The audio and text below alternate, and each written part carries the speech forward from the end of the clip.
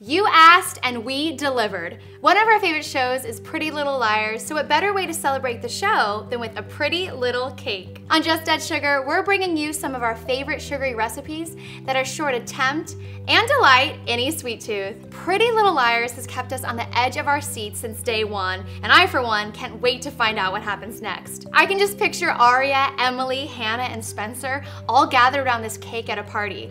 Would you care to try a slice?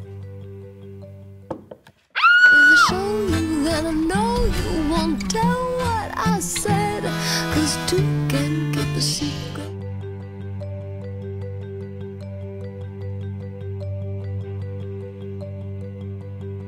So to make this cake, we're gonna start by making the A. Now I did this by baking a red velvet cake, but you could also dye a white cake red.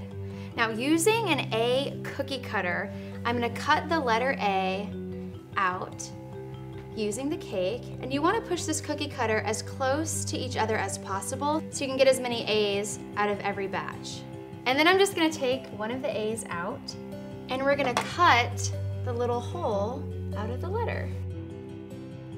There we go. All right, now anytime that A leaves her signature mark, she always has that dash A. Well, instead of making a whole bunch of tiny little dashes, I'm just gonna slice a one inch strip along the edge of the cake and then we're gonna put this entire dash in the side of the cake. I'm gonna continue cutting out the A's, but once you're done, put them in the freezer. This is not only gonna help them harden, but will also prevent them from burning when we rebake them in the cake. Now that our red A's are frozen, you need a loaf pan and a batch of white cake batter, and I'm gonna start by putting a little bit of our cake batter into the bottom of our pan as a base. Great, now we can start stacking our A's on the right side of the pan and get them as close to the edge as possible and line them up. Now at this point, you're gonna add this long strip of cake. Now don't worry, it's not gonna stay at the bottom. As this cake bakes, it's gonna rise up to the perfect spot, giving you that dash A. Now I'm just gonna cover the entire thing with the rest of the cake batter. Now don't worry that it looks uneven, it's gonna bake up perfectly. Now we're gonna put this into an oven that's been preheating at 325 degrees for about 30 minutes or until a toothpick inserted comes out clean. So what's for dessert? So once the cake has cooled, we're going to decorate it. I'm using a simple buttercream frosting. You can find the recipe on Pop Sugar. Now I'm gonna show you a really easy frosting technique.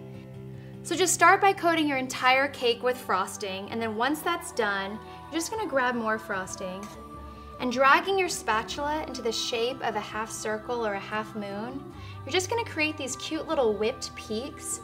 I'm telling you, if you don't have time to really do a gorgeous, precise frosting technique, this is great for beginners, but it also just looks really good.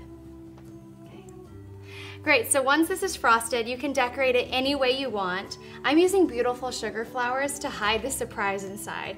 Now you can get these already made at a little bake shop or you can make them yourself by cutting out little daisies from fondant or gum paste. Then I'm gonna add just a little celebratory banner and keep decorating the cake with little flowers.